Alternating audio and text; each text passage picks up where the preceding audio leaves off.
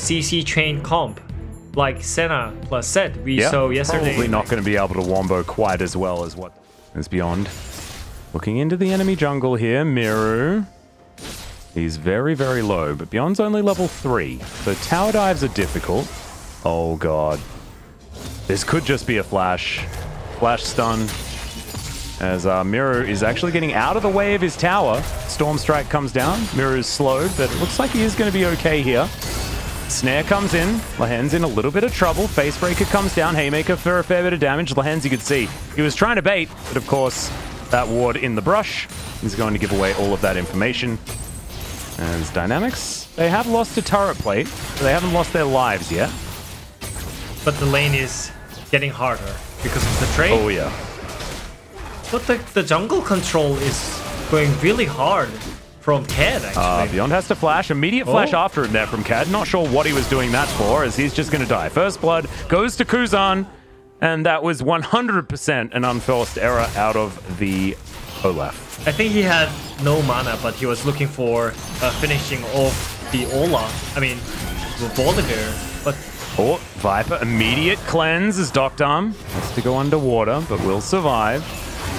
okay, so because of that, I think Olaf lost his all advantage that he got from invade and jungle speed or whatever. Like everything is gone, and that's really critical in the early game right now. Like the game one and game two, it's already improved. Well, Emperor's Divide absolutely everywhere as Cad comes in. Oh. Flash out from Kuzan. See how, whether he survives, and he's not going to. Mireu tanks up the turret a couple of times, and that is going to be a kill onto the mid laner with this compos composition.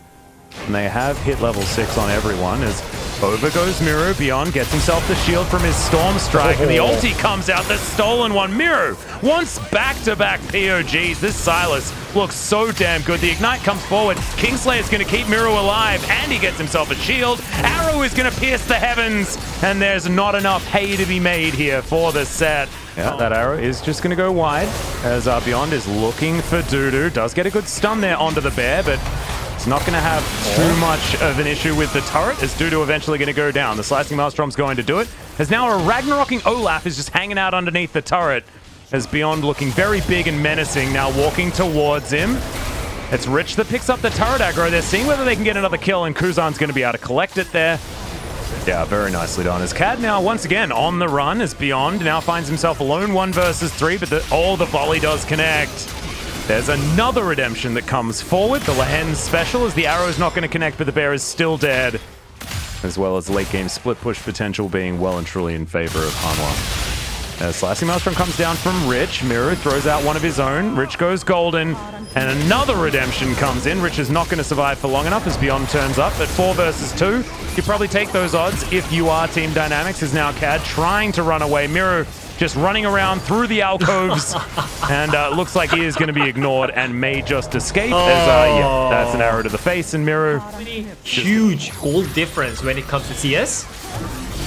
Yeah, Arrow is going to connect there. As you can see, Hextech Ultimatum. And GuGer throws out the Haymaker, but he's still going to be dead. Lasts quite a long time as the Blast Cone causes a ruckus. TP Now cancelled. Viper might be in trouble. There's the Emperor's Divide, but hits no one. And it's a double kill for the Camille. Deokdam trying to run away, and he should escape. But it's Everything is going great for Hanwha Life Esports. Just get some vision control. Whoop, Arrow on the Deokdam. He is mega dead. Mega Man. epically dead. Mireu is going to come in through the backside, and the ulti is going to be followed bear upon bear action as uh, Rich is trying to fight against Dudu, but this is a 23-minute battle against Camille, and uh, Rich is... No, oh, okay. He escapes at least. Doesn't win the fight, but he is at least going to... Es- oh, for now. Oh, the sad B comes out as he dies to a Tiamat. Oh, it feels so bad. As uh, we're going to have a look at a fight here towards the bottom side. There are ultimates just flying everywhere as the Azir going to be taken down first. GuGer gets into the backside trying to remove Mireu from the fight, but it's just not really going to be enough as Hanwha Life are obliterating Team Dynamics. And Mireu is just going to wander after him and, uh, yeah, eventually take him down, but he was playing with his food for a moment.